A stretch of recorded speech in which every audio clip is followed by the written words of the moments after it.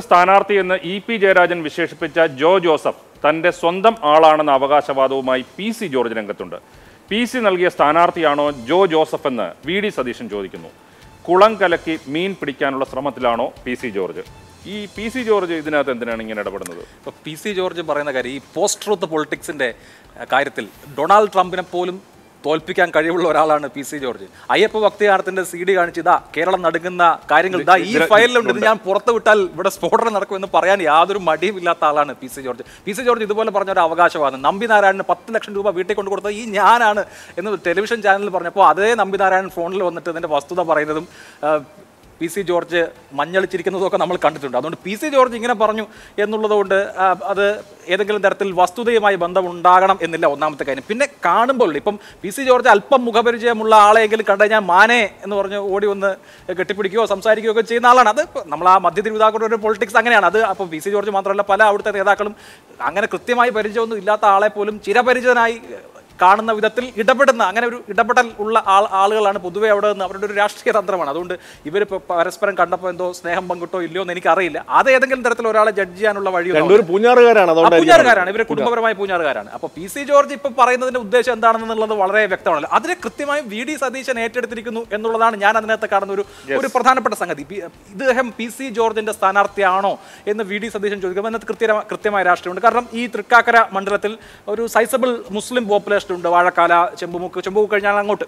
അപ്പോൾ കൃത്യമായി ഇദ്ദേഹം പി സി ജോർജിന്റെ ആളാണ് ക്രിസംഗിയാണ് എന്നൊക്കെ വരുത്തിയാൽ വലിയ തോതിലുള്ള ഒരു വോട്ട് ധ്രുവീകരണം നടക്കുമെന്ന് വി ഡി സതീശൻ അറിയാം എന്നുള്ളതുകൊണ്ട് വളരെ തന്ത്രപരമായി നടത്തിയിരിക്കുന്ന ഒരു പ്രസ്താവനയാണത്. പി സി ജോർജ് അതിന് അരങ്ങൊരുക്കാനാകാം. അല്ലെങ്കിൽ പി സി ജോർജിന് എന്താണോ പി സി ജോർജിന്റെ മനസ്സിൽ എന്താണെന്ന് അറിയില്ല. എന്തായാലും വളരെ കൃത്യമായിട്ട് വി ഡി സതീശൻ അത് പിടിച്ചെടുത്തിട്ടുണ്ട്. വേറൊരു പ്രചരണം ഈ എറണാകുളത്തെ ക്രൈസ്തവ ഗ്രൂപ്പുകളിലൊക്കെ നടക്കുന്ന രണ്ട് മൂന്ന് പോസ്റ്റർ ഞാൻ കണ്ടു.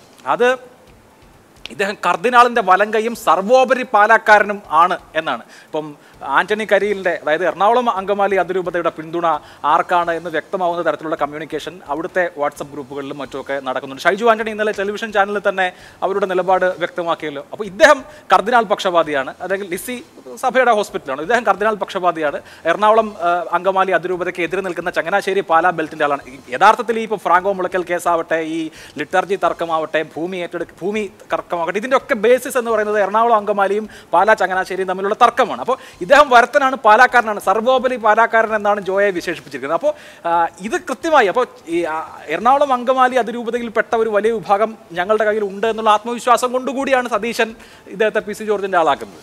അപ്പോൾ ഈ പ്രമേഷ് ഇതിൽ നിന്നെല്ലാം ഈ സ്ഥാനാർത്ഥികൾ നല്ല സ്ഥാനാർത്ഥിയെ അവിടുത്തെ ജനങ്ങൾ തിരഞ്ഞെടുക്കട്ടെ. ആരാണെങ്കിലും ജയിച്ചു വരട്ടെ. പക്ഷേ ഇതിൽ ഇപ്പോഴത്തെ ഒരു ഒരു ഇത് കാണുമ്പോൾ ഇപ്പോൾ കേരളയിലാണ് അവിടുത്തെ മുഖ്യ തെരഞ്ഞെടുപ്പ് വിഷയം എന്ന് പറഞ്ഞു. പക്ഷേ അതിനപ്പുറം ഇതൊരു വർഗീയമായിട്ടുള്ള വിഷയങ്ങളിലേക്കാണ് കാര്യങ്ങൾ പോകുന്നത്. വികസനം ചർച്ച ചെയ്യുന്ന ഇലക്ഷൻ ആയിരിക്കും എന്ന് പറഞ്ഞു അല്ലെങ്കിൽ കെ റെയിലിന്റെ സിൽവർ ലൈനിന്റെ ഹിതപരിശോധനയായിരിക്കാം അല്ലെങ്കിൽ പിണറായി സർക്കാരിന്റെ രണ്ടാം പിണറായി സർക്കാരിന്റെ ഹിതപരിശോധന ആയിരിക്കാം എന്നൊക്കെ പറഞ്ഞു തുടങ്ങിയെങ്കിലും അതൊന്നും വരുന്നില്ല തെരഞ്ഞെടുപ്പ് വിഷയത്തിൽ. ഇപ്പോൾ തുടക്കം സ്ഥാനാർത്ഥി നിർണയമൊക്കെ ആയതുകൊണ്ട് മാത്രമാവാം. ഇതുവരെ അവിടെ വരുന്നത് സ്ഥാനാർത്ഥിയുടെ സാമുദായികമായ പിന്നെ ബന്ധങ്ങളും അതുപോലുള്ള കാര്യങ്ങളാണ്. സ്ഥാനാർത്ഥി നിർണയവുമായി ബന്ധപ്പെട്ട അനിശ്ചിതത്വങ്ങളൊക്കെ അത്തരം വാദങ്ങൾക്കാണ് വഴിയൊരുക്കുന്നത്. എന്തായാലും അവിടെ ഒരു രാഷ്ട്രീയ പോരാട്ടം നടക്കുന്നതിന്റെ സൂചന ഒന്നും ഇതുവരെ തെളിയുന്നില്ല. ഇപ്പോഴും ഇപ്പോൾ ഇന്ന് തന്നെ വി ഡി സതീശൻ പ്രതിപക്ഷ നേതാവ് ഈ ഇടതു സ്ഥാനാർത്ഥിയുടെ ഒരു ആ സ്ഥാനാർത്ഥി നിർണയത്തിന് പിന്നിൽ പ്രവർത്തിച്ച ചില സാമൂഹ്യ അല്ലെങ്കിൽ ബാഹ്യ ഘടകങ്ങളെക്കുറിച്ചാണ് പറയുന്നത്. അവർക്ക് പക്ഷേ അത് പരസ്യമായി പറയാൻ കഴിയുന്നില്ല. അതിന് പകരം പി സി ജോർജിന്റെ സ്ഥാനാർത്ഥിയാണെന്നൊക്കെ പറയുന്നു. അപ്പോൾ ഇത്തരം വിവാദങ്ങളിലേക്ക് ചുറ്റി തിരികെയാണ് പി സി ജോർജിന്റെ സ്ഥാനാർത്ഥി ആവുമെന്ന് പറയുന്നത് അഭിലാഷ് പറഞ്ഞ പോലെ വേറൊരിടത്ത് നിന്ന് അതെ മറ്റൊരു ലക്ഷ്യത്തോടു കൂടിയാണ്.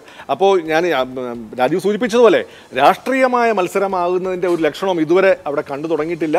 ഇത് ഇങ്ങനെയാണോ ഈ ഗതിയിൽ തന്നെയാണോ ഈ ദിശയിൽ തന്നെയാണോ തൃക്കാക്കരയിലെ തെരഞ്ഞെടുപ്പ് മത്സരം മുന്നോട്ട് പോകുന്നത് എന്ന് എന്തായാലും പറയാൻ കഴിയില്ല എന്തായാലും ഇങ്ങനെയാണെങ്കിൽ വളരെ മോശമാണ്.